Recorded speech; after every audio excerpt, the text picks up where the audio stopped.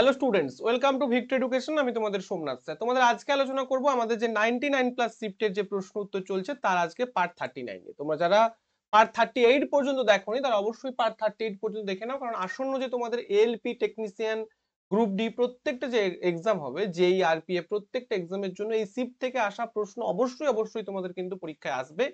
তাই এই শিফট বাংলায় আমাদের পশ্চিমবঙ্গে প্রথম আমি ক্লাস করাচ্ছি শিফট অনুযায়ী ভাবে ধরে ধরে তোমাদের প্রত্যেকটা প্রশ্নের এক্সপ্লেনেশন এবং এনসিআরটির কোন জায়গাটা তোমাদের পড়তে হবে সেটা আমি কিন্তু তোমাদের প্রথম করাচ্ছি এবং করাতে করাতে আজকে কিন্তু থার্টি নাইনে চলে এসেছি। আশা করি চ্যানেলে তোমরা যারা নতুন তারা অবশ্যই চ্যানেলটিকে শেয়ার করবে চ্যানেলটিকে সাবস্ক্রাইব করবে এবং ক্লাসগুলোকে লাইক করবে এবং কমেন্ট করে নিজেদের মতামত জানাবে। ঠিক আছে, আজকে আমরা আলোচনা করব থার্টিন সেপ্টেম্বরে আসা তেরোই সেপ্টেম্বরের সেকেন্ড শিফটে যে সমস্ত প্রশ্নগুলো এসেছে সেগুলো নিয়ে আলোচনা করব, ঠিক আছে? তো আলোচনা শুরু করার আগে একটাই কথা বলব, যাদের ফান্ডামেন্টালটা ক্লিয়ার নেই ফান্ডামেন্টাল ক্লিয়ার নেই মানে অনেকেই আছে যারা ম্যাথ যেই ভালো পারে, কিন্তু সায়েন্সটা পারে না। তোমরা জানো যে দু হাজার পঁচিশে কিন্তু অলরেডি দু হাজার পঁচিশের কিন্তু অলরেডি ক্যালেন্ডার পাবলিশড হয়েছে। অনেক টিচার রয়েছে ক্যালেন্ডারটাকে নিয়ে অনেক ট্রোল করছে। আমি বলব যে ট্রোল করাটা ঠিক নয়, কিন্তু হ্যাঁ রেলওয়ের কিছু ত্রুটি রয়েছে ডেফিনেটলি রেলওয়ে ভ্যাকেন্সিজ অনেক কম দিয়েছে, সেটা ঠিক আছে। কিন্তু তবুও রেলওয়ে যে দু হাজার পঁচিশের ক্যালেন্ডার অনুযায়ী আবার ভ্যাকেন্সি পাবলিশ করার জন্য নোটিফিকেশন দিয়েছে, সেটা প্রত্যেকটা রেলওয়ে অ্যাসপিরেন্টের কাছে একটা সুবর্ণ সুযোগ। এবং তোমাদের যেভাবে সিলেবাস চেঞ্জ হয়েছে টেকনিশিয়ানে সেভাবে যদি দেখতে চাও, তোমরা দেখতে পাবে যে সায়েন্সের সিলেবাস কিন্তু গুরুত্বপূর্ণভাবে ড্রাস্টিক্যালি চেঞ্জ হচ্ছে। এবং প্রশ্নের মান দিনে দিনে কিন্তু উন্নত হচ্ছে এনসিআরটি পড়তে হবে। এনসিআরটি এক্সাম্পল যেটা নাম হয়তো কেউ তোমাকে বলেনি বা তুমি শোনোনি সেটা বাংলায় করতে হবে ডায়াগ্রাম করতে হবে, বিভিন্ন নতুন নতুন প্রশ্ন করতে হবে সায়েন্সের অঙ্কের ক্লাস করতে হবে হ্যাঁ? তো এই যে পুরো জিনিসটা পুরো জিনিসটা কিন্তু তোমাদের খুব ভালোভাবে করতে হবে। টোটালটাই তোমাদের কিন্তু অনলাইন কোর্স রয়েছে অ্যাপ রয়েছে সিক্স মান্থসের কোর্স রয়েছে ভ্যালিডিটি ওয়ান ইয়ার থাকবে। এবং physics chemistry biology EVS computer এই সাবজেক্টগুলো কভার করাবে। যারা ভর্তি হতে চাও, এই নাম্বার যোগাযোগ করবে। ওয়ান টাইম ফ্রি নশো নিরানব্বই টাকা অফারে এখনও পর্যন্ত রয়েছে। অর্থাৎ নশো নিরানব্বই টাকা ব্যাচ ফি এখনও পর্যন্ত রয়েছে। ঠিক আছে? চলো। আমাদের ব্যাচের যে সিলেবাস যেভাবে আমি পড়াই, সেখানে সিলেবাসটা দেওয়া রয়েছে। এইভাবে আমি প্রত্যেকটা সাবজেক্ট কিন্তু কভার করব। এটা হচ্ছে তোমাদের দুটো এনসিআরটি বাই এনসিআরটি বই নাইন অ্যান্ড টেনের যদিও আমি সিক্স টু এইটও কিন্তু এখানে কভার করে দেবো, এগুলোর মধ্যেই আসতে। আজকে প্রথম প্রশ্ন থার্টিন সেপ্টেম্বর সেকেন্ড শিফটের প্রশ্ন। প্রথম প্রশ্ন কি বলছে? দেখো, জিঙ্ক অক্সাইড, এই যে জিঙ্ক অক্সাইড জিঙ্ক অক্সাইড যখন কার্বনের সাথে বিক্রিয়া করে নিচের কোন গ্যাস নির্গত হয়? তাহলে জিঙ্ক অক্সাইড যদি কার্বন ডাই অক্সাইডের সঙ্গে বিক্রিয়া করে, তাহলে দেখো, কার্বনের সাথে বিক্রিয়া করে, তাহলে carbon dioxide carbon monoxide ozone নাকি মিথেন? তো এখানে সঠিক উত্তর হয়ে যাবে, কার্বন মনোক্সাইড কিন্তু উৎপন্ন হবে জিঙ্কের সঙ্গে যদি মানে জিঙ্ক অক্সাইডের সাথে যদি কার্বনের বিক্রিয়া হয়। এবার তোমার প্রশ্ন হবে যে, স্যার, এই জায়গাটা আমি কোথা থেকে পড়ব? কি বলছি শোনো, তোমাদের প্রশ্ন হবে যে, স্যার, এই জায়গাটা আমি কোথা থেকে জানব? দেখো, এটা আমাদের এনসিআরটিতে কিন্তু লেখা রয়েছে, এটা আমাদের এনসিআরটিতে কিন্তু লেখা রয়েছে কোন বই, স্যার? না, এটা আমাদের যে extraction of metal class ten এর মেটাল এবং নন মেটাল যে চ্যাপ্টারটা বা ধাতু ধাতু চ্যাপ্টারটা সেখানেই লেখা রয়েছে। দেখো, যদি একটু ভালো করে বইটাকে তোমরা পড়ে নিতে, তাহলে এই ধরনের প্রশ্ন তোমরা করে আসতে পারতে, অনায়াসে করে আসতে পারতে। আমি বারবার একটা কথা বলি যে এনসিআইটা খুঁটিয়ে পড়ো, একটা প্রশ্ন বাইর থেকে যাবে না, যেটা আমি তোমাদের চোখে আঙুল দিয়ে দেখাই। কি বলেছে দেখো? জিঙ্ক অক্সাইড, জিঙ্ক অক্সাইডের সঙ্গে কার্বন বিক্রিয়া করেছে দুটোই সলিড এস মানে কি? এস মানে সলিড মানে তারা গুঁড়ো ফরম্যাটে আছে বা সলিড ফরম্যাটে রয়েছে। লিকুইড বা অ্যাকোয়াস ফরম্যাটে নেই। তাহলে এই যে সলিড বা এস ফরম্যাটে রয়েছে দুটো সলিড পরস্পরের সঙ্গে বিক্রিয়া করে কি উৎপন্ন করছে? জিঙ্ক উৎপন্ন করছে। এটাও সলিড এবং কার্বন মনোক্সাইড বা গ্যাস কার্বন মনোক্সাইড গ্যাস উৎপন্ন। তাহলে কি হবে? না জিঙ্ক অক্সাইডকে কার্বন সহ বা কোক সহ তোমাকে কার্বন না দিয়ে তোমাকে কোকও বলে দিতে পারে পরবর্তী কোনো পরীক্ষায়। তাহলেও তোমার উত্তর হবে কিন্তু কার্বন মনোক্সাইড বা যেটাকে আমরা সিও বলছি। এটি বিজারিত হয়ে কি উৎপন্ন করে? ধাতব জিঙ্ক উৎপন্ন করে। তাহলে আমি আরও একটা জিনিস জানব যে যদি আমার এখানে কার্বন মনোক্সাইড না দিয়ে যদি জিঙ্ক দিয়ে দেয়, শুধু জিঙ্ক দিয়ে দেয়, তাহলে সেটাও উত্তর হতে পারে। বা এখানে দিয়ে দিল জিঙ্ক এবং কার্বন মনোক্সাইড, দিয়ে দিল টু অ্যান্ড থ্রি বোথ তাহলে সেটাও তোমাদের উত্তর হতে পারে। তাই এই জিনিসটা মনে রাখবে। তাহলে প্রথম অধ্যায়ে বর্ণিত জারণ বিজারণ প্রক্রিয়াগুলোর সাথে তোমরা এই পরিচিত হয়েছে। যৌগগুলি থেকে ধাতু নিষ্কাশনে এই প্রক্রিয়াটি বিজারণ প্রক্রিয়া। তাহলে এটাকে দেখো জিঙ্ক অক্সাইড থেকে জেডেন তার মানে অক্সিজেনটা বেরিয়ে যাচ্ছে। তার মানে এই যে বিক্রিয়াটা, জিঙ্ক অক্সাইডের সঙ্গে কার্বনের বিক্রিয়া করে আমি কি উৎপন্ন করছি? জিঙ্কটাকে এক্সট্রাক্ট করে নিচ্ছি বা জিঙ্ক ধাতুটাকে নিচ্ছি। এক্ষেত্রে আমরা কি করছি? কার্বন বিজারণ প্রক্রিয়াটা অ্যাপ্লাই করছি বা কার্বনটা ওখানে দিয়ে কি করছি? বিজারণ প্রক্রিয়া অ্যাপ্লাই হচ্ছে বা কার্বন বিজারণ পদ্ধতি বলা হচ্ছে এটাকে। কি বলা হচ্ছে? কার্বন বিজারণ পদ্ধতি। এই কার্বন বিজারণ পদ্ধতিতে কিন্তু আমরা এইখানে ধাতু নিষ্কাশন করছি এবং এই পদ্ধতিতে আমরা জিঙ্ক ধাতুটাকে নিষ্কাশন করছি। তাহলে একটা প্রশ্ন থেকে আমরা অনেকগুলো ইনফরমেশন জানলাম, আশা করি তোমরা বুঝতে পেরেছ। পরবর্তী প্রশ্ন, দেখো খুব ভালো প্রশ্ন, নিচের কোন উপাদানগুলি যথাক্রমে এক হবে না, একা হবে? এটা একা সিলিকন একা বোরন এবং একা অ্যালুমিনিয়াম এইগুলো কিন্তু অনেকে হয়তো বুঝতে পারবে। এবার যারা নতুন, তারা হয়তো বুঝতে পারবে না। কিন্তু তোমার ভয় পাওয়ার কোনো দরকার নেই। ভয় পেলে কিন্তু চাকরি পাবে না তুমি।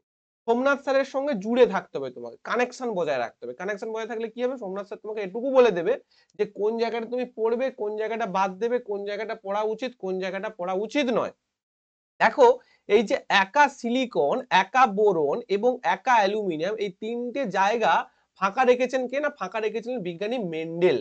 মানে বিজ্ঞানী হচ্ছে Mendel in the sense Mendeleev মেন্ডেলিভের যে পর্যা সারণী সেই মেন্ডেলিভের পর্যা সারণী তিনি কিন্তু এই তিনটে স্থান ফাঁকা রেখেছিলেন। যেখানে কে ঢুকেছিল, যেখানে ঢুকেছিল জার্মেনিয়াম, স্ক্যান্ডিয়াম এবং হচ্ছে গ্যালিয়াম। এই তিনটে জিনিস ঢুকেছিল। দেখো এখানটা আমরা এই যে বইটা, এই বইটা কি বই?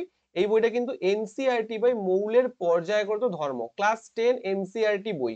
এখানে সেটা স্পষ্ট করে মেনশন করা রয়েছে, দেখো। মেন্ডেলিভ তার পর্যা সারণীতে কয়েকটি ফাঁকা স্থান রেখেছিল।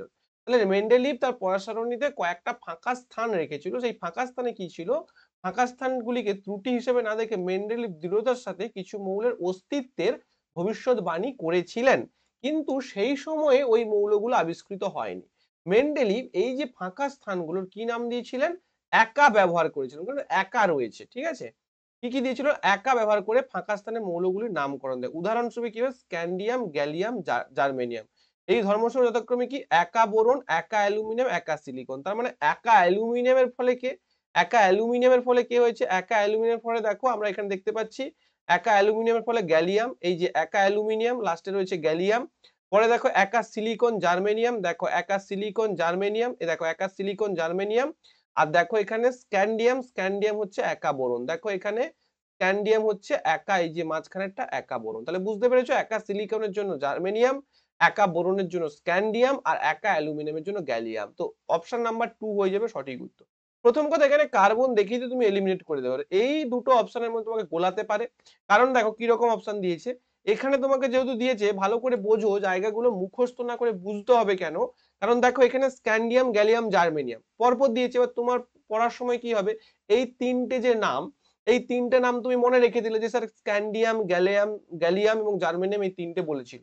কিন্তু তুমি যখন প্রশ্ন করবে, তখন এখানে কিন্তু উল্টে দিয়েছে ওরা। এখানে কিন্তু উল্টে দিয়েছে, আর আলাদা আলাদা করে দিয়েছে। তখন তুমি স্ক্যান্ডিয়াম গ্যালিয়াম, জার্মেনিয়াম দেখে যদি টিক করে দাও, তাহলে তোমার ভুল হয়ে যাবে। কেন? এখন একা সিলিকন একা বোরন এবং একা অ্যালুমিনিয়াম এটাকে উল্টে দিয়েছে, যেখানে এখানে ছিল একা বোরন, একা অ্যালুমিনিয়াম, একা সিলিকন বুঝতে পেরেছ? তাহলে সিলিকনের জন্য জার্মেনিয়াম, অ্যালুমিনিয়ামের জন্য গ্যালিয়াম, আর বোরনের জন্য স্ক্যান্ডিয়াম এই তিনটে একার মানে হচ্ছে এই যৌগগুলো। প্রত্যেকের ক্লিয়ার ভালো লাগলে অবশ্যই ক্লাসটাকে একটা লাইক করবে এবং তোমাদের যে পড়াশোনার গ্রুপ যদি বন্ধুরা থেকে থাকে, ভালো যদি লেগে থাকে সোমনাথ স্যারের ক্লাস অবশ্যই শেয়ার করবে। তোমাদের তোমাদের ডিমান্ড ছিল স্যার নাইনটি নাইন প্লাস সিটটা তাড়াতাড়ি করে করান, বেশি করে করান। আমি দেখো প্রায় এক দুদিন এদিক ওদিক করে কিন্তু তোমাদের নিয়ে আসছে। ঠিক আছে? নেক্সট প্রশ্ন। নেক্সট প্রশ্ন কি বলছে দেখো? একটি শক্তিশালী বেস ভালো করে বোঝো এই প্রশ্নটা খুব গুরুত্বপূর্ণ। একটি শক্তিশালী বেস এবং একটি দুর্বল অ্যাসিডের মিশ্রণযুক্ত লবণের পিএইচ কত? প্রথম কথা হচ্ছে দেখো, যদি এটা থাকতো, যদি এটা থাকতো যে শক্তিশালী শক্তিশালী অ্যাসিড শক্তিশালী অ্যাসিড প্লাস হচ্ছে শক্তিশালী বেস ভালো করে বুঝবে, শক্তিশালী অ্যাসিড প্লাস হচ্ছে শক্তিশালী বেস বা শক্তিশালী ক্ষার বলতে পারি। তাহলে আমরা কি বলতে পারতাম? দেখো, একে অপরকে নিউট্রালাইজ করবে নিউট্রালাইজ করবে নিউট্রালাইজ করবে মানে একে অপরকে নিরপেক্ষ করবে। আর নিরপেক্ষ করলে কি উৎপন্ন হবে? এখানে যে সলটা উৎপন্ন হবে সেটা হচ্ছে নিউট্রালাইজ সল উৎপন্ন হবে। না তো অ্যাসিডিক না তো বেসিক অর্থাৎ অ্যাসিডিক লবণ উৎপন্ন হবে না, ক্ষারীয় লবণ উৎপন্ন হবে না, উৎপন্ন হবে নিউট্রালাইজ সল্ট আর নিউট্রালাইজ সল্ট যদি উৎপন্ন হয়, জল উৎপন্ন হবে, তাহলে নিউট্রালাইজ সল্ট যদি উৎপন্ন হয়, তাহলে আমি কি বলতে পারব? এর পিএইচ কত? PH equal to seven pH equal to seven তার মানে এই অপশনটা হবে না, কারণ এখানে শক্তিশালী বেস আর দুর্বল অ্যাসিড দিয়েছে। এবার দেখো, আমরা যদি বলি যে শক্তিশালী বেস শক্তিশালী বেস শক্তিশালী বেস মানে কি? শক্তিশালী ক্ষার। তাহলে শক্তিশালী ক্ষার যদি থাকে, তার সাথে দুর্বল অ্যাসিড যদি থাকে, দুর্বল অ্যাসিড থাকলে কি ওই যে পুরো যে ক্ষারটাকে, ওই পুরো ক্ষারটাকে অ্যাসিডটা কি করতে পারবে না? অ্যাসিডটা নিউট্রালাইজ করতে পারবে না। আমার কথা কি তোমরা বুঝতে পারছ? যে দূর অ্যাসিডটা আমি দুর্বল আমি দুর্বল, তুমি হচ্ছে সবল, তাহলে আমি তোমাকে পুরোটা মারতে পারব না, তুমি আমাকে মেরে ফেলবে। ঠিক আছে? তো সেরকম দুর্বল অ্যাসিড মানে শক্তিশালী ক্ষারটাকে পুরোপুরি নিউট্রালাইজ করতে পারবে না। ফলে এখানে যে লবণটা উৎপন্ন হবে, এখানে কি লবণ উৎপন্ন হবে? এখানে ক্ষারীয় লবণ উৎপন্ন হবে। ক্ষারীয় লবণ প্লাস হচ্ছে জল উৎপন্ন হবে। তার মানে ক্ষারীয় লবণ যেহেতু উৎপন্ন হচ্ছে, ওখানে ওইচ গ্রুপ একটা ঢুকে থাকবে। বেস মানে আমরা বলব যে ওইচ গ্রুপ এবং যেহেতু ক্ষারীয় লবণ উৎপন্ন হবে, আমরা পিএইচ স্কেল যদি দেখি পিএইচ স্কেল কত থেকে কত হয়? না জিরো থেকে চোদ্দ পর্যন্ত।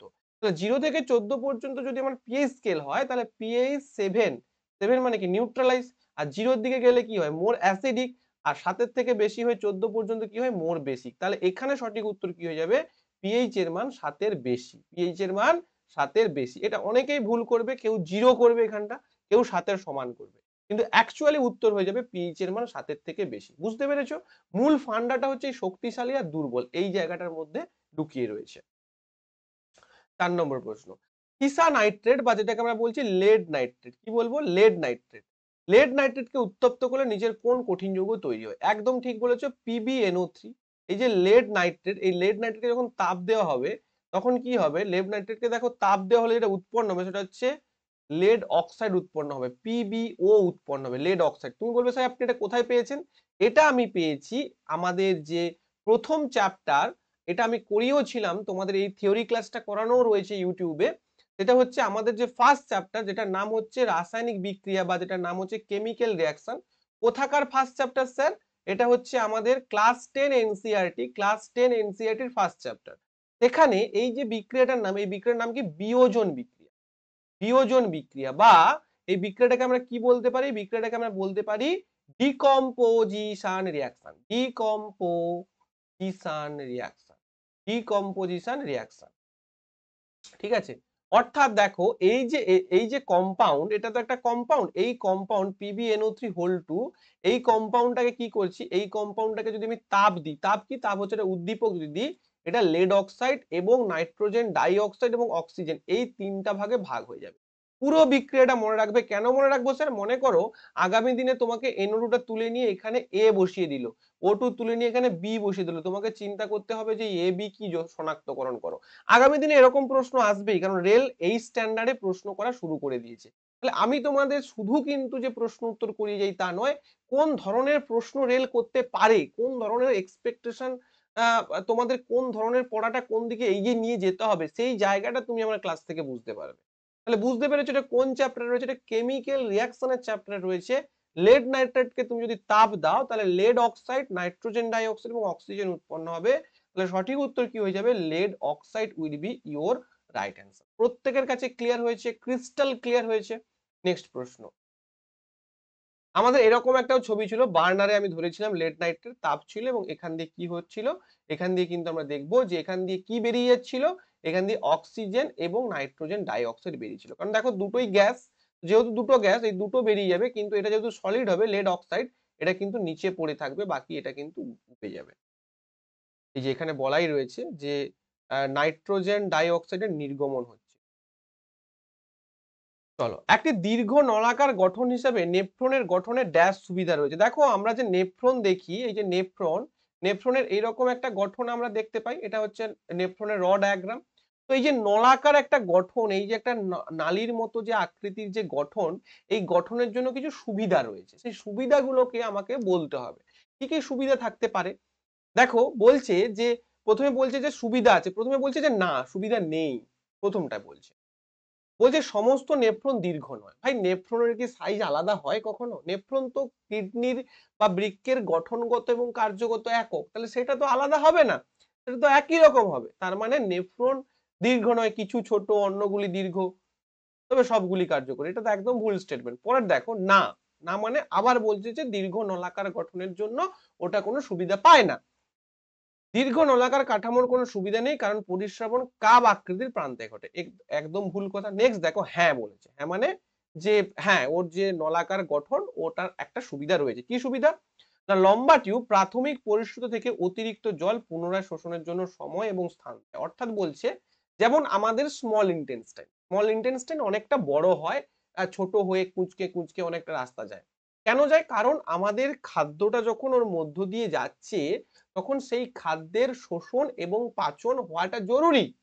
আমি কি বলছি? আমাদের খাদ্যটা যখন স্মল ইন্টেস্টাইনের মধ্য দিয়ে যাচ্ছে, সেই খাদ্যের পাচন এবং শোষণের জন্য অনেকটা রাস্তা দিয়ে যখন যাচ্ছে, তার শোষণটা ভালোভাবে হবে। সেই রকম এইখানে যদি আমার গ্লোমেরুলাস থাকে, সেখান দিয়ে তো প্রাথমিক পরিশ্রুত হলো, দিয়ে বমেন্স ক্যাপসুল হয়ে এটা পিসিটি এটা প্রক্সিমাল কনভলিউটেড টিউবুলের মধ্যে চলে এলো, তারপর হেনলি লুপ হয়ে এটা কোথায় যাচ্ছে? ডিস্টাল কনভলিউটেড টিউবুল এবং আলটিমেট সংগ্রাহক নালিকায় যাচ্ছে বা কালেক্টিং ডাক্টে যাচ্ছে।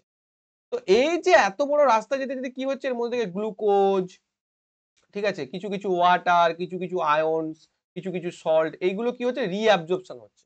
আর যতটা রাস্তা দিয়েও ঘুরে ঘুরে যাবে, তত রিঅবজর্পশনটা ভালোভাবে হবে। ঠিক আছে? তো এই যে বলছি নলাকার যে আকৃতিটা, এর ফলে এটা কি সুবিধা পাচ্ছে? ডেফিনেটলি সুবিধা পাচ্ছে। অর্থাৎ প্রাথমিক যে পরিশ্রুতকরণ যে জায়গাটা, সেখান থেকে শোষণের জন্য সময় এবং স্থান দেয়। এটা একদম ঠিক রয়েছে। নেক্সট বলছে হ্যাঁ কিডনিকে দৃঢ়তা দেওয়ার জন্য লম্বা টিপগুলি কুণ্ডলি করে উচ্চ ঘনত্বে প্যাক করা। এটা তো একদম ভুল রয়েছে, কারণ কিডনিকে দৃঢ়তা প্রদানের জন্য কিন্তু এটা থাকে না। এটা থাকে কি?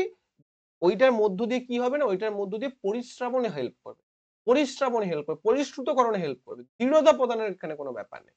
তাহলে এখানে সঠিক অপশন কোনটা? অপশন নাম্বার থ্রি বুঝতে পেরেছ? ক্লিয়ার হয়েছে? আমরা যদি এনসিআরটি ডায়াগ্রামটা দেখি এনসিআরটি যে ডেফোনের ডায়াগ্রামটা রয়েছে, সেটা যদি তুমি একটু দেখো, তাহলে দেখবে এই যে দেখো, এটা হচ্ছে বৃক্ষীয় ধমনী ঢুকছে এই ধমনী থেকে কি হবে? ধমনী থেকে এখান থেকে ব্লাডটা এখানে কি হবে? ছাঁকার মতো ছাঁকনি হবে। যে ব্লাড মধ্যে যে জিনিসগুলো রয়েছে, দূষিত পদার্থগুলো, সেখানে এই ক্যাপসুলের মধ্যে চলে আসবে। এই যে এখানে জালিকাটা, এই জালিকাটার নাম হচ্ছে গ্লোমেরুলাস গ্লোমেরুলাস থেকে কাপ লাইক একটা ফিল্টার রয়েছে। এরকম একটা এটা হচ্ছে গ্লোমেরুলাস আর এই যে কাপের মতো অংশটা যেখান থেকে ছাঁকনির মতো এসে এখানে পড়ে যাবে, এটাকে আমি বলছি বমেন্স ক্যাপসুল এইখান থেকে আবার কি হবে? এই যে জলটা যেটা এলো, সেটা এইভাবে ঘুরিয়ে ঘুরিয়ে ঘুরিয়ে ঘুরিয়ে এটাকে আমরা হেনলি লুপ বলছি, ঘুরিয়ে ঘুরিয়ে ঘুরিয়ে ঘুরিয়ে এসে কালেক্টিং ডাক্টের মধ্যে পড়বে এবং এইটা পরবর্তীকালে গবিনী হয়ে আমাদের মূত্রনালী হয়ে আমাদের বেরিয়ে যাবে, দেহের বাইরে বেরোবে, অর্থাৎ মূত্র উৎপন্ন হবে। এবং এই যে এখানে একটা রেখা মানে এখানে একটা নালী দেখছ, এটা হচ্ছে বৃক্ষীয় শিরা। এটা পরীক্ষা প্রশ্ন এসেছিল মানে পুরো ডায়াগ্রাম দিয়ে সবগুলো মুছে দিয়ে এটাকে এ দিয়ে দিয়েছিল, এটাকে বি দিয়ে দিয়েছিল হ্যাঁ এটাকে সি দিয়ে দিয়েছিল। তো এরকম প্রশ্ন কিন্তু এসেছিল। তোমরা জানো যে এই ডায়াগ্রামটা ভীষণ ইম্পর্টেন্ট এটা বহুবার পরীক্ষায় এসেছে। তো এই ডায়াগ্রামটা এনসিআইটি তে যে ডায়াগ্রাম রয়েছে, সেটাই তোমরা করবে, কারণ সেখান থেকেই কপি পেস্ট করে পরীক্ষায় দেবে। নেক্সট প্রশ্ন। দেখো, ত্রিভুজাকৃতি কাঁচের প্রিজমের মাধ্যমে আলোক রশ্মির প্রতিসরণ করে। আপতিত রশ্মি এবং নির্গত রশ্মির মধ্যবর্তী কোণকে কি বলা হয়? ভালো করে দেখো। এই যে ত্রিভুজাকৃতি প্রিজম রয়েছে, এখানে কোনটা আপতিত রশ্মি, পিইটা। দেখো, এই যে পিই, এইটা হচ্ছে আমার আপতিত রশ্মি, এটা আপতিত হলো। তাহলে দেখো, এই যে রশ্মিটা, অর্থাৎ ইএফ, ইএফটা কি প্রতিষ্ঠিত রশ্মি? কারণ দেখো, এখানে আমার কি ছিল? এখানে হচ্ছে বায়ু মাধ্যম তাহলে বায়ু মাধ্যম থেকে কাঁচ মাধ্যমে আসছে, অর্থাৎ লঘু মাধ্যম থেকে ঘন মাধ্যমে যাচ্ছে। আর যখনই একটা আলো একটা মাধ্যম থেকে আরেকটা মাধ্যমে যায়, তখন সেটাকে আমরা কি বলছি? আলোর প্রতিসরণ হচ্ছে প্রতিসরণ হলো। এইবার দেখো, প্রতিসরণের পর এটা কি হবে নির্গত হবে। এফ এস এফ এসটা কি হচ্ছে? নির্গত হলো। মানে আলোটা প্রতিষ্ঠিত হয়ে নির্গত হলো। তাহলে এই যে আপতিত রশ্মি এবং নির্গত রশ্মি, এই দুয়ের মধ্যবর্তী যে কোনটা এই যে ডি কোণ, এই ডি কোণটা কি? ডি কোণটা হচ্ছে বিচ্যুতি কোণ। দেখো, এই ডি কোণটা হচ্ছে কিন্তু দেখো, এই যে আপতিত রশ্মি পিই এবং নির্গত রশ্মি এফ এস এই দুয়ের মধ্যবর্তী কোণ হচ্ছে এইটা কিন্তু, এইটা। তো এটা আমরা কি বলছি? এটা কিন্তু হচ্ছে বিচ্যুতি কোণ বলব। এটাকে আমরা প্রতিসরণ কোণ বলব না, উত্থান কোণ বলব না, ঘটনার কোণ না, এটা হতো আপতন কোণ, ঠিক আছে? আপতন কোণ বলব না, বিচ্যুতি কোণ বলব, ওকে? ক্লিয়ার চলো নেক্সট সাত নম্বর প্রশ্ন, কি বলছে দেখো? বলছে প্রদত্ত বিক্রিয়ার জন্য সুষম সমীকরণটি সমাধান করো। আচ্ছা আমাকে একটা স্টুডেন্ট এরকম বলেছিল যে ওকে দিয়েছে প্রশ্ন যে কোনটা সংযোজন বিক্রিয়া। আর ওই ছেলেটা কি করেছে? ব্যালেন্স বিক্রিয়াটা না দেখে, দেখছে যে সংযোজন বিক্রিয়াটা ব্যালেন্স করে তাই ওটা ও ঠিক না করে ডিকম্পোজিশন রিয়াকশনে ঠিক করে দিয়েছে। দেখছি যে ডিকম্পোজিশন রিয়াকশনটা ব্যালেন্স করে আছে, ওটা ঠিক করে দিয়েছে। কখনোটা করবে না। যদি তোমাকে প্রশ্নে ক্লিয়ারলি মেনশন থাকে যে এটা ব্যালেন্স তুমি করো বা কোনটা ব্যালেন্সড সমীকরণ বা সুষম সমীকরণ, তবেই তুমি ব্যালেন্সিংটা দেখবে। কিন্তু যদি তোমাকে বিক্রিয়ার টাইপ জানতে চাই যেটা কোন ধরনের বিক্রিয়া সংযোজন বিক্রিয়া, নাকি বিয়োজন বিক্রিয়া, নাকি আর বিজার জারণ বিজারণ বিক্রিয়া বা রেডক্স রিঅ্যাকশন তখন বা প্রতিস্থাপন বিক্রিয়া, তখন তুমি শুধু সেই টাইপটার দিকেই খেয়াল করবে। যে প্রতিস্থাপন হচ্ছে নাকি ডিকম্পোজিশন হচ্ছে, নাকি সংযোজন বিক্রিয়া হচ্ছে, নাকি কি হচ্ছে ওকে তো এখানে দেখো কি বলছে ক্যালসিয়াম ক্লোরাইড এবং sulphuric acid calcium sulphur hydrogen chloride প্রথমত আমাদের দেখতে হবে যে মূল সমীকরণগুলো একই রয়েছে কিনা। মূল সমীকরণ কি? মনে করো সিএসিএল সিএ ক্যালসিয়াম ক্লোরাইডের সংকেত হয় সিএসিএল টু কোনো একটা বিক্রিয়ায় তুমি দেখছ যে সিএসিএল করে বিক্রিয়াটা সমাধান করে দিচ্ছে। তখন সেটা ভুল হবে। কারণ মূল এলিমেন্ট বা মূল কম্পাউন্ডদের যে যে ফর্মুলা সেটা তো একই থাকবে। তারপরেই তুমি ব্যালেন্সিং করব। তো এখানে দেখতে পাচ্ছ সবকিছু একই রয়েছে। দেখো এখানে ক্যালসিয়াম একটা, এখানে ক্যালসিয়াম একটা ওকে এখানে হাইড্রোজেন চারটে two H two H two এর নিচে হ্যাঁ? দু দুয়ের চার। এখানে দেখো হাইড্রোজেন দুটো কেটে দাও। একটা ভুল চোখে পড়লেই তুমি কেটে দেবে। পরিষ্কার কথা। তারপরে আমি দেখতে পাচ্ছি সালফারও দুটো, এখানে সালফার একটা কেটে দাও। নেক্সট দেখো সিএ একটা সিএ একটা এইচ টু দুটো, এখানেও দুটো এইচ এখানেও সিএ একটা হয়ে গেছে। সালফার একটা সালফার একটা ও চারটা ও চারটা সিএল একটা, এই যে এখানে দেখো ভুলটা ধরা পড়ে গেছে। না সিএল দুটো আর এখানেও সিএল দুটো, ঠিক আছে? তার মানে আমরা বলতে পারি এইটা কিন্তু ঠিকঠাক রয়েছে। বাকিগুলো দেখি অপশন এলিমিনেশন এই ধরনের প্রশ্নে অপশন এলিমিনেশন করবে। কেন? না, কারণ মনে করো তোমার চোখে কোনো একটা ভুল হয়তো ধরা পড়েনি। কোনো একটা ভুল ধরা পড়েনি। হয়তো কোনো একটা ব্যালেন্সই এলিমিনেট তুমি করে এটাকে ঠিক করে দিয়েছ। তারপরের দুটো যখন একটু সময় নষ্ট করে দেখবে, তখন দেখবে যে হয়তো কোনো একটা আবার ঠিক মনে হচ্ছে। তখন তুমি কি হচ্ছে, দুটোকে দেখতে পারো, দুটোকে দেখে কোনো একটা জায়গায় যেখানটা ভুল মনে হচ্ছে, ওটাকে তুমি এলিমিনেট করতে পারবে। তাই এই ধরনের প্রশ্নে প্রত্যেকটা অপশনকে তোমাদের কি করা উচিত? কনসিডার করা উচিত। তাহলে ভুলের পরিমাণটা তোমাদের কমে যাবে। সিএসিএল দেখো সিএ একটা সি একটা? এস একটা এস একটা। এইচ টু দুটো মানে এইচ দুটো এইচ কিন্তু একটা। কেটে দাও। দেখো, দুটো সিএ দুটো সিএ ঠিক আছে? দু দুয়ে চারটা সিএল এখানে কিন্তু দুটো সিএল কেটে বুঝতে পেরেছ? ক্লিয়ার হয়েছে? তার মানে অপশন এলিমিনেশন করলে এই ধরনের প্রশ্নগুলো আমরা খুব সহজেই করতে পারব। অপশন নাম্বার দুই two will be your right answer ঠিক আছে? নেক্সট প্রশ্ন। সাধারণভাবে অধাতুর যে অক্সাইডগুলো, এগুলো তোমাদের আমি বারবার বলেছি, অধাতুর মানে সিও টু এই যে সিও টু বা এই যে অক্সাইডগুলো, এগুলো কি হয়? না, এইগুলো সাধারণত আমরা বলব যে এইগুলো সাধারণত আম্লিক প্রকৃতির হয়। আর আমাদের যে ধাতুর অক্সাইডগুলো যেমন ম্যাগনেসিয়াম অক্সাইড এই যে অক্সাইডগুলো এই অক্সাইডগুলো কি হয়? এই অক্সাইডগুলো বেসিক প্রকৃতির হয় বা ক্ষারীয় প্রকৃতির হয়। মনে থাকবে? তাহলে অধাতব অক্সাইডগুলো কি হয়? আর এল টু ও থ্রি জেডেনও এইগুলো কি হয়? এই দুটোই কিন্তু অ্যাম্ফোটেরিক অক্সাইড আবার কার্বন মনোক্সাইড সিও এটা হচ্ছে কিন্তু কারুর সঙ্গেই বিক্রিয়া করে না। মানে নিউট্রাল অক্সাইড যাকে বলে, কারুর সঙ্গে বিক্রিয়া করে না। তার মানে অধাতুর অক্সাইডগুলো কিছু কিছু অধাতুর অক্সাইড আছে, যেমন কার্বন মনোক্সাইড এটা কারোর সঙ্গে বিক্রিয়া করে না। আবার ধাতুর দুটো অক্সাইড আছে, যেমন এল টু থ্রি এবং জেডেনও এটা acid as well as base দুটোর সঙ্গে রিয়াকশন করে। কিন্তু আমরা মনে রাখব যে সাধারণত অ্যাসিডের মানে ধাতুর যে অক্সাইডসগুলো, তারা বেসিক প্রকৃতির হয়, আর অধাতুর যে অক্সাইডসগুলো, তারা আম্লিক প্রকৃতির হয় বা অ্যাসিডিক ইন নেচার এখানে দেওয়া রয়েছে কিছু কিছু বিক্রিয়া, চাইলে দেখে নিতে। প্রথম যে ফুলারিনটা শনাক্তকরণ হয়েছিল দেখো ফুলারিন। ফুলারিন মানে কি? ফুলারিন মানে হচ্ছে এই যে কার্বন রয়েছে, সেই কার্বনের একটা অ্যালোট্রোপ কার্বন একটা বহুরূপ। যেমন আমাদের গ্রাফাইট রয়েছে, যেমন ডায়মন্ড রয়েছে, সেই রকমই কার্বন একটা বহুরূপ হচ্ছে ফুলারিন। যার যে সংকেত, সেই সংকেতটা কত? C sixty. সি সিক্সটি হচ্ছে যার সংকেত বা যেটাকে আমরা ফুলারিন বলছি। নেক্সট প্রশ্ন।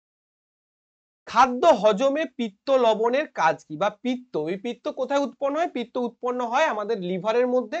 সেই লিভারে যে পিত্ত উৎপন্ন হয়, তার কাজটা কি? প্রথমে দেখো, তারা বড় চর্বিযুক্ত গ্লোবিউলসকে ছোট গ্লোবিউলে বিভক্ত করে।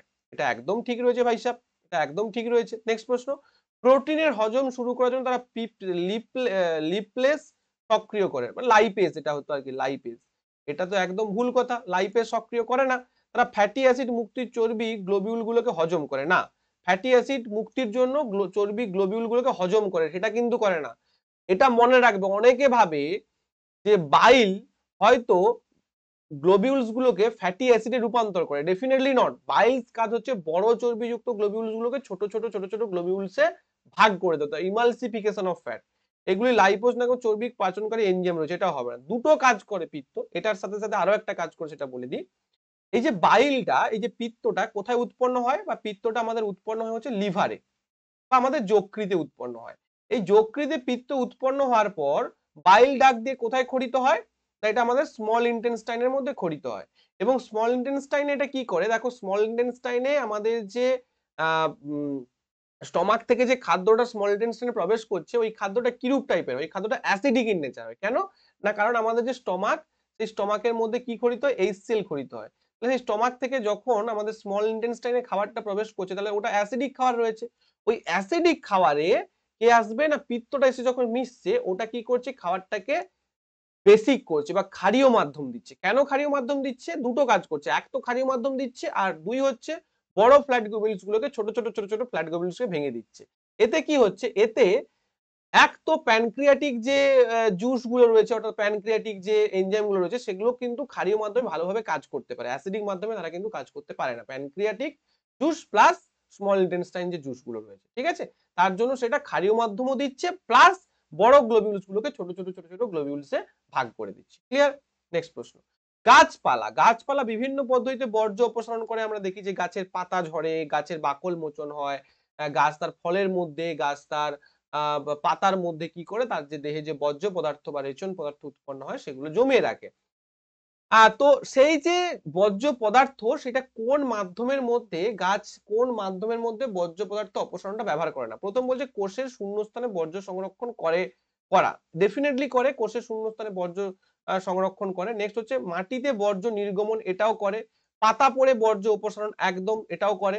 ঘাম দ্বারা, এই ঘামটা কাদের হয়? ঘামটা কিন্তু আমাদের হয়। আমাদের সোয়েট গ্ল্যান্ড রয়ে গ্ল্যান্ড রয়েছে চামড়ার নিচে সেখানে ঘাম উৎপন্ন হয় এবং ঘামের মাধ্যমে বিভিন্ন যে আমাদের যে শরীরে দ্রবীভূত যে টক্সিক ম্যাটেরিয়াল সেগুলো ঘামের মাধ্যমে কিন্তু দেহের বাইরে বেরিয়ে আসে। ক্লিয়ার হয়েছে? তাহলে এইটা হচ্ছে মানুষের হয় বা বিভিন্ন প্রাণীদের হয়, কিন্তু উদ্ভিদের এটা হয় না। এবার উদ্ভিদের কি পদ্ধতিতে হয়? সেখানে দেখো, এখানে কিন্তু লেখা রয়েছে কার্বন ডাই অক্সাইড বাষ্পমোচন প্রক্রিয়া, অতিরিক্ত জল হ্যাঁ কোষ গড়ে যে উদ্ভিদের বর্জ্যগুলো উদ্ভিদের বর্জ্যগুলো কোষ গড়ে সঞ্চয় থাকে বর্জ্য পদার্থগুলো এইসব পাতেও সঞ্চয় থাকতে পারে, যেগুলো ঝরে পড়ে। অন্যান্য বর্জ্য পদার্থ রেজিন, গাম সুমো বিশেষত পুরনো পদার্থ, বহু আগে গঠিত জাইলেমে সঞ্চয় থাকে, বহু আগে গঠিত জাইলেম, এটাও তোমাদের একবার প্রশ্ন এসেছিল যে ওল্ড জাইলেম। অর্থাৎ অনেক সময় তোমাদের প্রশ্ন আসে যে যে রেজিন বা গাম, এগুলো কোথায় সঞ্চয় থাকে? এগুলো হচ্ছে ওল্ড জাইলেমের মধ্যে সঞ্চয় থাকে। এটাও প্রশ্ন এসেছে এবং আবার আসবে। এটা স্যার কার কাটিং? এটা হচ্ছে এনসিআরটির যে বই এনসিআরটির চ্যাপ্টারের নামটাও বলে দিচ্ছি, আমি জৈবনিক প্রক্রিয়া। আসলে দীর্ঘদিন ধরে এনসিআরটি পড়াচ্ছি এবং আমার ব্যাচ থেকে বহু ছাত্রছাত্রী আজকে রেলের বিভিন্ন পোস্টে চাকরি করছে এবং তারা যথেষ্ট আমাকে ধন্যবাদ জানিয়েছে যখন গ্রুপ ডির কঠিন প্রশ্নটা হয়। কারণ একমাত্র আমি তাদের আর কি পক্ষে দাঁড়িয়েছিলাম যে যখন সহজ প্রশ্ন এরা একটা হচ্ছিল যে দু হাজার আঠেরো প্রশ্ন কিছুই না, একদম দুদু ভাতে জল ভাতে তখন আমি বলেছিলাম, ভাই, ঠিক আছে জল ভাতে হোক, কিন্তু এনসিআরটিটা তোমরা পড়ে যাও। তো সেইভাবে আমি তাদেরকে এনসিআরটিটা এরকম ভাবেই পড়িয়েছিলাম। তার জন্য সেগুলো প্রত্যেকটা জায়গা মানে ক্লিয়ার কাট করে আমি তোমাদের বলতে পারি যে এই চ্যাপ্টারটা এই জায়গা থেকে, এই চ্যাপ্টারটা এই জায়গা থেকে। কারণ অ্যান্সারটা বলে দেওয়াটা খুব একটা সহজ নয়। অ্যান্সার তো সব জায়গাতেই লেখা আছে অ্যান্সার পরীক্ষার তো সেটগুলোতেই অ্যান্সার দেওয়া সেগুলো তো তোমরাও দেখে নিতে পারো। কিন্তু কোন জায়গাটা থেকে দিয়েছে, কোন জায়গাটা পড়ব? একজন স্টুডেন্ট আমি যদি একজন স্টুডেন্ট হতাম, আমি মনে হয় এটাই বুঝতে পারতাম ভালো করে যে কোন জায়গাটা থেকে দিয়েছে, সেটা কোন জায়গায় সেই চ্যাপ্টারটার নাম। ক্লিয়ার হয়েছে? চলো নেক্সট এবার বলেছে ট্রপিক স্তরে ট্রপিক স্তরে স্যার এটাও কি এনসিআর ডেফিনেটলি এটাও এনসিআর দেখাচ্ছি আমি। ট্রপিক স্তরে একটি সাধারণ খাদ্য শৃঙ্খল নিচে দেখানো হয়েছে। চতুর্থ গ্রীষ্মমণ্ডলীয় স্তরে অবস্থিত সাপটি হ্যাঁ, চতুর্থ গ্রীষ্মমন্ডলীয় নয় চতুর্থ ট্রপিক স্তরে হতো। চতুর্থ ট্রপিক স্তরে। ট্রপিকটাকে বাংলা ট্রান্সলেট করে গ্রীষ্মমণ্ডলী হয়ে। ট্রপিক স্তরে উপস্থিত সাপটি যদি টেন কিলোজুল শক্তি পায় তাহলে তবে উৎপাদকগুলি কত পরিমাণ শক্তি পাওয়া যায়? ভালো করে বোঝো। দেখো, এখানে আমি তোমাদের আর একটু ভালো করে বুঝিয়ে দিচ্ছি সাপটা কোথায় রয়েছে। মনে করো এটা ফার্স্ট শক্তি স্তর যেখানে কে রয়েছে? উৎপাদক রয়েছে বা ঘাসপালা রয়েছে। এখানে কে রয়েছে? এখানে মনে করো একটা উই চিংড়া রয়েছে বা আমি বলতে পারি একটা পোকা রয়েছে। এই পোকাটাকে শক্তির কত স্তর? সেকেন্ড স্তর। আর থার্ড স্তরে কে রয়েছে? তৃতীয় শ্রেণির যারা খাদক, যেমন মনে করো ব্যাং রয়েছে। এইখানে রয়েছে স্নেক আর এইখানে রয়েছে ইগল এর বেশি দূর যাবে না। এবার ভালো করে বোঝো প্রত্যেকটা শক্তি স্তরে আগের শক্তি স্তর থেকে মাত্র টেন পার্সেন্ট যায়। এর টেন পার্সেন্ট এনার্জি এ পাবে। বাকিটা তারা কি করে? বাকিটা তারা নিজেদের যে জৈবনিক নিত্য নৈমিত্তিক প্রক্রিয়া সেখানে কাজে লাগিয়ে দেয়। এর টেন পার্সেন্ট এ খাবে, এর টেন পার্সেন্ট এ পাবে। তাহলে এর দ্বারা শক্তি কত পেয়েছে? টেন কিলোজুল শক্তি পায়। তাহলে টেন কিলোজুল যদি এ পায়, তাহলে পরেরটা কি? ব্যাঙের টেন পার্সেন্ট সাপ পেয়েছে। তার মানে সাপের কত ব্যাঙের কত ছিল? ব্যাঙের একশো কিলোজুল ছিল। একশো টেন পার্সেন্ট তো দশ হয় একশো টেন পার্সেন্ট তো দশ হয়। তার মানে ব্যাঙের যদি ভালো করে বুঝবে ব্যাঙের যদি একশো হয় এটা লিন্ডেম্যানের দশ শতাংশ সূত্র থেকে আমরা পাই ব্যাঙের যদি একশো কিলোজুল আহ, শক্তি থেকে থাকে তাহলে আমরা উই চিংড়াতে কত পাবো? যেটা সেকেন্ড লেভেলে রয়েছে তাহলে এর টেন পার্সেন্ট ব্যাংক পেয়েছিল তার মানে টেন পার্সেন্ট মানে কত? নিশ্চয়ই এটা হাজার যেমন হাজারের টেন পার্সেন্ট হচ্ছে একশো কিলোজুল হবে। তাহলে উৎপাদকের কত হবে? উৎপাদকের টেন পার্সেন্ট ওই ফড়িংটা পেয়েছিল, তার মানে উৎপাদকের টেন পার্সেন্ট কত হয়ে যাবে? আরও দশ গুণ করে দেবো, দশ হাজার হয়ে যাবে একক, দশক, শতক, হাজার, অজু, দশ হাজার। অর্থাৎ এর দশ হাজারের টেন পার্সেন্ট হাজার, হাজারের টেন পার্সেন্ট একশো একশো টেন পার্সেন্ট দশ। এইভাবে টেন পার্সেন্ট করে করে গেছে। তার মানে আলটিমেট উৎপাদকটার যে কিলো জুল বা যে শক্তি সেটা হচ্ছে দশ হাজার কিলো ঠিক আছে? অর্থাৎ option number C will be right answer বোঝা গেছে কি প্রত্যেকের? যদি বোঝা যায়, যদি ক্লাসটি ভালো লাগে, অবশ্যই কমেন্ট করে জানাবে, কারণ এই টাইপের প্রশ্ন তোমাদের পরীক্ষায় থাকবে। এটা কি স্যার রয়েছে? দেখো, এই যে এনসিআরটি কাটিং দিয়েছি একদম টপিক স্তর, এটা কিন্তু আমাদের এনসিআরটি তে রয়েছে। এইভাবে টেন পার্সেন্ট এইভাবে টেন পার্সেন্ট টেন পার্সেন্ট করে যাবে। ঠিক আছে? নেক্সট প্রশ্ন। বলছে একটি পাঁচ সেন্টিমিটার লম্বা পিন চল্লিশ সেন্টিমিটার ফোকাল দৈর্ঘ্যের একটি অবতল আয়না থেকে পঞ্চাশ সেন্টিমিটার দূরে স্থাপন করা হয়। এর প্রতিচ্ছবি বা প্রতিবিম্ব কোথায় তৈরি হবে? ভালো প্রশ্ন, খুব ভালো প্রশ্ন। দেখো, প্রথম কথা হচ্ছে, প্রথম কথা হচ্ছে যে আমাকে কি দিয়েছে? আমাকে বের করতে হবে যে ভিটা বের করতে হবে। কি দিয়ে? আয়না দিয়েছে না, দর্পণ দিয়েছে না লেন্স দিয়েছে না, আমাকে দিয়েছে অবতল দর্পণ বা অবতল আয়না। তাহলে অবতল আয়নাটা কি রকম দেখতে হয়? এই রকম দেখতে হয়, অর্থাৎ এর এইখানটা ফোকাস হয়, এইখানটা সি হয়, এগুলো আমরা জানি। আচ্ছা আমরা কি বলতে পারি যে অবতল দর্পণের যে ফোকাসটিকে নেগেটিভ না পজিটিভ বারবার বলেছি অবতল, দেখা মাত্র হচ্ছে নেগেটিভ করে দেবে। তাহলে এর যে ফোকাসটা এর ফোকাসটা কত না চল্লিশ সেন্টিমিটার হচ্ছে এর ফোকাস ঠিক আছে? এবার কত দূরত্বে স্থাপন করা হচ্ছে? পঞ্চাশ সেন্টিমিটার দূরত্ব মানে পঞ্চাশটাকে আমি নেগেটিভ কারণ বারবার বলেছি ইউটা কিন্তু নেগেটিভ হবে। মনে করো এখানটা বস্তু রাখা হয়েছে, এখানটা ফোকাস এটা যদি চল্লিশ হয়, মনে করো এটা পঞ্চাশ, ঠিক আছে? তাহলে এটাও মাইনাস এবার আমরা কি করব one by U plus one by V is equal to one by F তাহলে one by V is equal to কি হবে one by F minus of one by U এটা যদি আমরা লিখি তাহলে কি বলতে পারব দেখো ওয়ান বাই এফ মানে কত ওয়ান বাই এফ মানে আমরা বলতে পারি যে one by minus forty plus এটা মাইনাসে মাইনাসে প্লাস হয়ে যাবে প্লাস ওয়ান বাই ফিফটি এটাকে ক্যালকুলেট করলে কত হবে এটাকে ক্যালকুলেট করলে হবে ভাই সাহ যে আমরা দুশোকে এলসিএম নিলাম, তাহলে ওয়ান বাই ভি দাঁড়াচ্ছে চল্লিশ পাঁচে একশো কুড়ি মাইনাস ফাইভ প্লাস হচ্ছে পঞ্চাশ চারে মানে minus five plus four ultimate V equal to কত হবে দেখো? মানে ওয়ান বাই দুশো মানে দুশো। ভি ইকুয়াল টু কত? দুশো, এটা কিসে পেলাম আমরা? সেন্টিমিটারে পেলাম। মাইনাস দুশো সেন্টিমিটার বি কেয়ারফুল এখানে মাইনাস ফাইভ তাহলে মাইনাস দেখো মাইনাস হচ্ছে মানে কি? মাইনাস হচ্ছে মানে আমরা বুঝতে পারব যে এই যে প্রতিবিম্বটা গঠিত হবে, এটা কি প্রতিবিম্ব? এটা সদ প্রতিবিম্ব গঠিত হবে মাইনাস চিহ্ন আছে মানে সদ প্রতিবিম্ব। কেন? না, মাইনাস চিহ্ন বোঝাচ্ছে যে দুশো সেন্টিমিটার বা দু মিটার দূরে মানে এইখানে রয়েছে তো মানে এখান থেকে আরও অনেকটা দূরে মানে চল্লিশ, আশি সেন্টিমিটার মানে অনেকটা দূরে, এইভাবে এইরকম কোন একটা জায়গায় এটা এইভাবে গঠিত হবে, দুশো সেন্টিমিটার দূরে। ঠিক আছে? তাহলে যেহেতু দুশো সেন্টিমিটার দূরে এটা গঠিত হবে এবং এই দিকেই গঠিত হবে, তার মানে কোন দিকে গঠিত হবে? যেহেতু মাইনাস চিহ্ন রয়েছে মাইনাস চিহ্ন দেখে আমরা বুঝতে পারব, এই দর্পণটা সামনের দিকে গঠিত হবে। বারবার বোঝো, সৎ প্রতিবিম্ব হয়েছে মানে কি? দুটোরে মিলিত হয়ে গঠিত হয়েছে। আর দুটোরে তখনই অবতল দর্পণের ক্ষেত্রে মিলিত হবে যদি সেটা অবতল দর্পণের সামনে গঠিত হয়। তাই না? তাহলে অবতল দর্পণের সামনে গঠিত হয়েছে সৎ প্রতিবিম্ব দুশো সেন্টিমিটার মানে দুই মিটার। তার মানে আমরা বলতে পারি যে আয়নার সামনে দুই মিটার, সামনে কিন্তু এই প্রতিবিম্বটা গঠিত হয়েছে। Option number B will be right answer বা কারেক্ট ওকে কারা কারা বুঝতে পেরেছ কমেন্ট করে জানাবে যে, স্যার, আপনারা ক্লাস দেখে বুঝতে পারছি বা উপকৃত হচ্ছে। নেক্সট দেখো। যখন কোনো প্রতিরোধগুলি প্রতিরোধগুলি বা রোধকগুলি বলতে পারো, সমান্তরাল সমবায়ে যুক্ত করা হয়, তখন ফলাফল বা রেজাল্টেন্ট যে বা তুল্য রোধ যেটা হবে, সেটা সর্বোচ্চ সর্বোচ্চ রোধের, প্রত্যেকটা রোধ করে নাও। সর্বোচ্চ রোধের সমান, সর্বোচ্চ বড় রোধের চেয়ে বেশি, ন্যূনতম রোধের কম, ন্যূনতম রোধের সমান। বুঝতে পারলে না, বোঝাচ্ছি। দেখো, আমি একটা এক্সাম্পল দিচ্ছি। কি হবে, যারা বুঝতে পেরেছ তারা উত্তরটা করে নেবে। যারা বুঝতে পারোনি, ভালো করে দেখো, আমি এক্সাম্পল দিয়ে বুঝিয়ে দিচ্ছি খুব সুন্দরভাবে। কি বলেছে? আমার একটা সার্কিট রয়েছে যেখানে সমান্তরাল সমবায় রয়েছে। দেখো, এই যে সমান্তরাল সমবায়, মনে করো আমার এরকম কয়েকটা রেজিস্ট্যান্স রয়েছে, ঠিক আছে? তিনটে রেজিস্ট্যান্স মনে করো রয়েছে। প্রথমটা মনে করো চার ওহম, দ্বিতীয়টা মনে করো আট ওহম, তৃতীয়টা মনে করো বারো ওহম রয়েছে। তাহলে এর যদি আমি তুল্য রোধ বের করতে চাই, কত হবে? দেখো, একের চার যোগ একের আট যোগ একের বারো।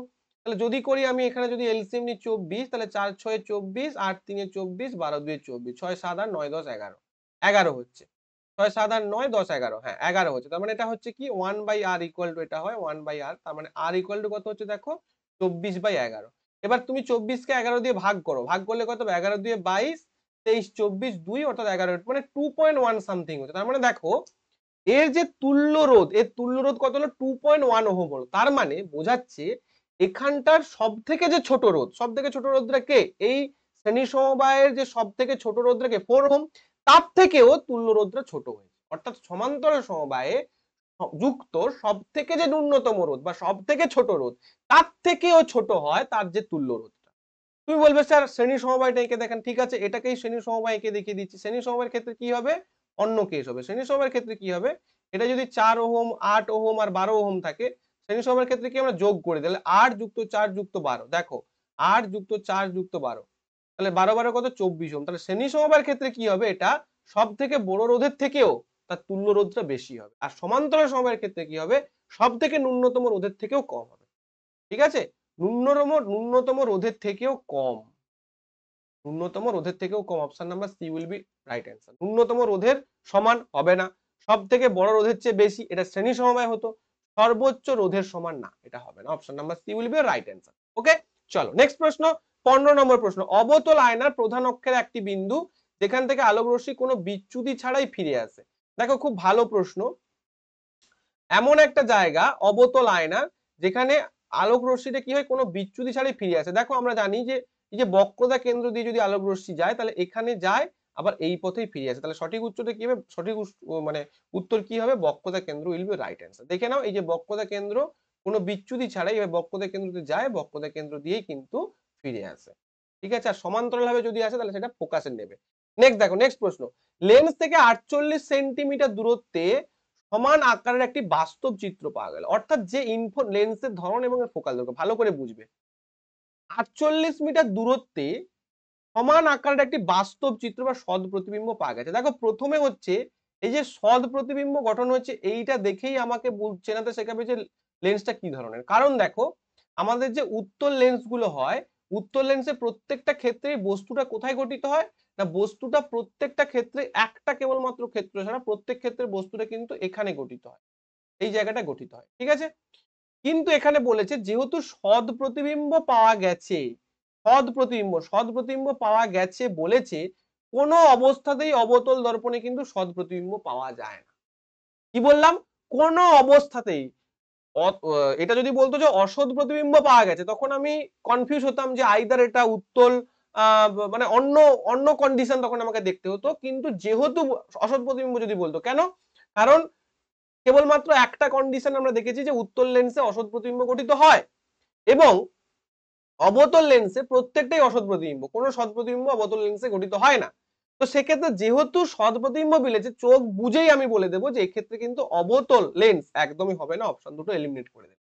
ওকে এইবার দেখো, যেহেতু বলেছে যে আমার আটচল্লিশ সেন্টিমিটার দূরত্বে সমান আকারের একটি বাস্তব চিত্র পাওয়া গেল লেন্সের ধরন এবং এর ফোকাস দৈর্ঘ্য। ভালো করে বোঝো। আটচল্লিশ মিটার দূরে বস্তুর সমান আকৃতির আমি চিত্র পেয়েছি বা প্রতিবিম্ব পেয়েছি। তাহলে বস্তুর সমান আকৃতির চিত্র কখন হয়? যখন আমি বস্তুটাকে কোথায় রাখব? না, বস্তুটাকে টু এফ এ রাখব, তার প্রতিবিম্বটাও কোথায় হবে? না, প্রতিবিম্ব টু এফ ওয়ানে রাখব মনে করো, প্রতিবিম্বটাও টু এফ টু তে গঠিত হবে। বস্তুটাকে টু এফ ওয়ানে রেখেছি, এটা মনে করো টু এফ ওয়ান তার প্রতিবিম্বটা গঠিত হচ্ছে টু এফ টু তে, তখনই কিন্তু এটা সম্ভব। তাহলে আটচল্লিশ মিটার দূরত্বে গঠিত, তার মানে আটচল্লিশ মিটারটা তার কি? Two F one two F two distance হচ্ছে আটচল্লিশ মিটার। তাহলে টু এফ অর্থাৎ ডবল ফোকাসের ডিস্টেন্স যদি আটচল্লিশ হয়, তাহলে শুধু ফোকাসের ডিস্টেন্স কত হবে? তার হাফ অর্থাৎ চব্বিশ সেন্টিমিটার হবে।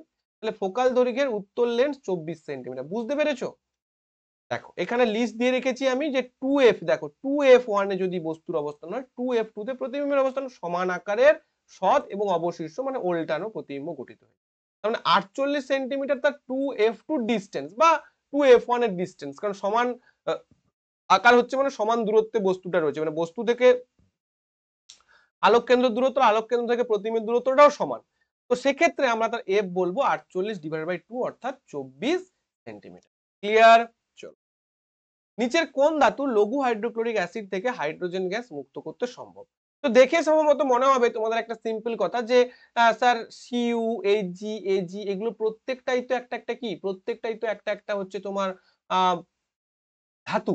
যেহেতু এরা প্রত্যেকটাই ধাতু, তাহলে এরা কি করবে? হাইড্রোক্লোরিক অ্যাসিডের সঙ্গে বিক্রিয়া করবে। অ্যাসিডের সঙ্গে আমরা কি জানি যে মেটাল মেটাল যখন অ্যাসিডের সঙ্গে রিয়াকশন করে, সেখানে কি উৎপন্ন হয়? সেখানে হাইড্রোজেন গ্যাস উৎপন্ন এটুকু আমরা জানি একটা লবণ উৎপন্ন হাইড্রোজেন গ্যাস উৎপন্ন হবে।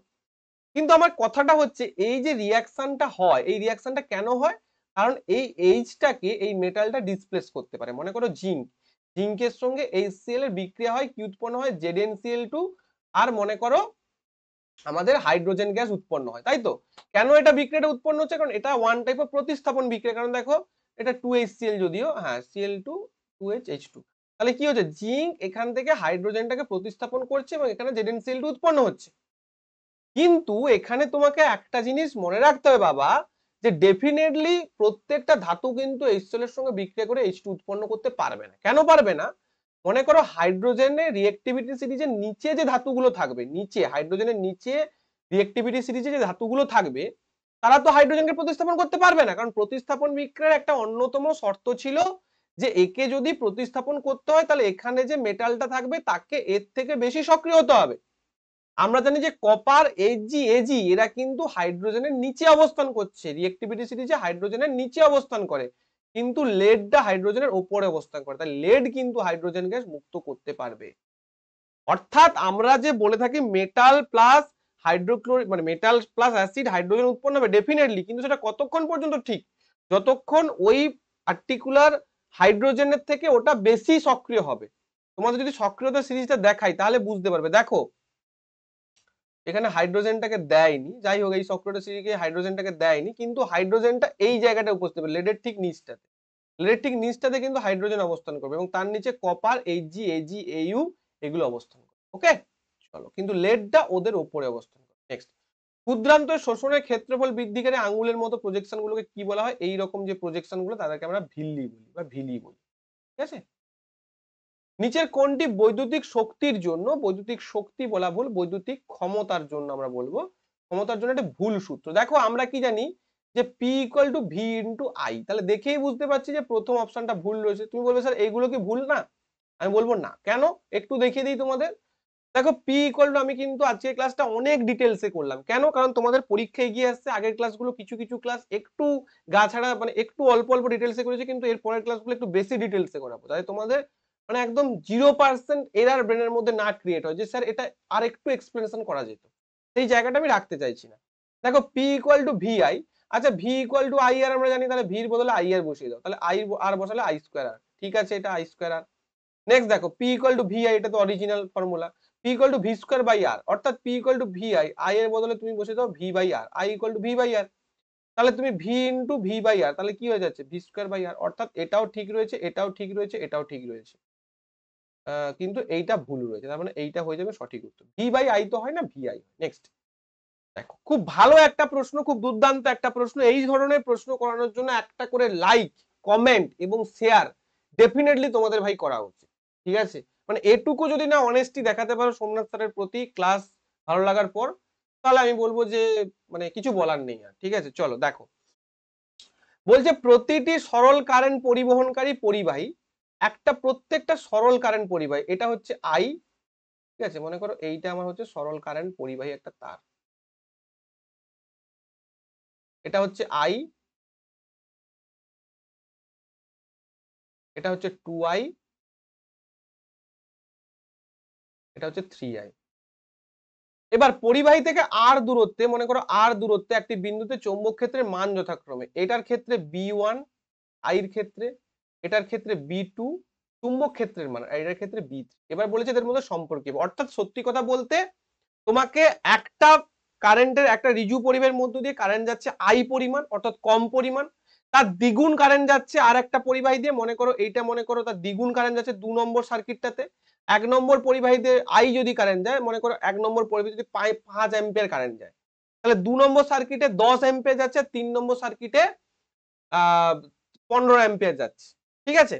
অর্থাৎ তুমি দেখবে যে কারেন্ট বেশি যাওয়ার উপর নির্ভর করে কি হয়? চুম্বক ক্ষেত্র কি হয়? আমরা পড়েছি এনসিআইটি তে, যদি পরিবাহীর মধ্য দিয়ে কারেন্ট বেশি যায়, যদি, আর প্রত্যেকটা দেখো ডিস্টেন্স সেম যদি ডিস্টেন্স আলাদা আলাদা দিত, কারণ পরিবাহী থেকে যত দূর দূর যাব আমরা, মনে করো এইটা আমার একটা পরিবাহী, এর চারদিকে সমকেন্দ্রিক একটা কি হবে? ম্যাগনেটিক ফিল্ড লাইন্স গঠিত হবে। সমকেন্দ্রিক একটা ম্যাগনেটিক ফিল্ড লাইন্স মনে করো গঠিত হলো। ঠিক আছে? যদি সমকেন্দ্রে একটা ম্যাগনেটিক ফিল্ড লাইন্স গঠিত হয়, এই কারেন্টে তার থেকে যত দূরত্বে যাব, তত কি হবে? তত ম্যাগনেটিক পাওয়ারটা কমতে থাকবে। বা ম্যাগনেটিক ফিল্ডটা কমতে থাকবে। কিন্তু এখানে প্রত্যেকটার ক্ষেত্রে বলেছে একটা নির্দিষ্ট দূরত্ব আর তার মানে দূরত্বটা সেম রয়েছে, কিন্তু কারেন্টের পরিমাণটা বেড়ে যাচ্ছে। তাহলে সব থেকে বেশি কারেন্ট কোনটা রয়েছে? বি থ্রি তার মানে বি থ্রি চুম্বক ক্ষেত্র সব থেকে বেশি হবে। তারপর কে রয়েছে? বি টু তার মানে বি টু তার থেকে কম হবে। তারপরে সব থেকে কম কে হচ্ছে? বি ওয়ান তার মানে বি ওয়ানটা তারপরে কম হবে। Option number C will be our correct answer প্রত্যেকে বুঝতে পেরেছ?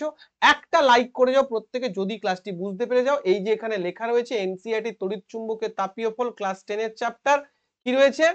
যে তড়িৎ প্রবাহের মান বৃদ্ধি পেলে সঙ্গে সঙ্গে ওই বিন্দুতে সৃষ্ট চুম্বক ক্ষেত্রের মানও বৃদ্ধি পায়। একদম ডাইরেক্ট লেখা রয়েছে এনসিআরটি বইতে, এইটার উপর ভিত্তি করে তোমাকে প্রশ্ন দিই। ঠিক আছে? নেক্সট প্রশ্ন। লাস্ট প্রশ্ন আজকের। চার ওহম, আট ওহম, ছয় ওহমের তিনটি রোধক একটি নাইন ভোল্ট ব্যাটারির সাথে সমান্তরাল সংমিশ্রণযুক্ত ব্যাটারি থেকে মোট কারেন্ট কত হবে? এইটা তোমাদের আমি করাবো না, এইটা তোমাদের আমি হোমওয়ার্ক দেবো। একদম ইজি অঙ্ক। প্রথমে কি করবে? প্রথমে তোমাদের কাজ হবে এখান থেকে কি বের করে নেওয়া? এখান থেকে তোমাদের যে তুল্য রোধ, সেই তুল্য রোধটা বের করে নেবে। তুল্য রোধ বের করে নিয়ে কি করব? I equal to V by R বসিয়ে দিলেই কিন্তু আর এর মানটা এখানে বসিয়ে দেবো ভি এর মানটা তো দেওয়াই রয়েছে।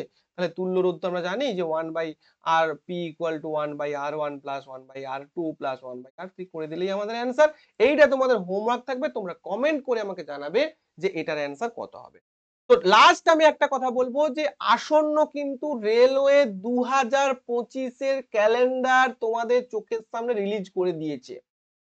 যে বা যারা বাড়িতে বসে রয়েছো, বাড়িতে ভাবছ যে কি করব, বাড়িতে ভাবছ যে টেকনিশিয়ানের পরীক্ষা রয়েছে এলপির পরীক্ষা রয়েছে ডিমোটিভেট ফিল করছ।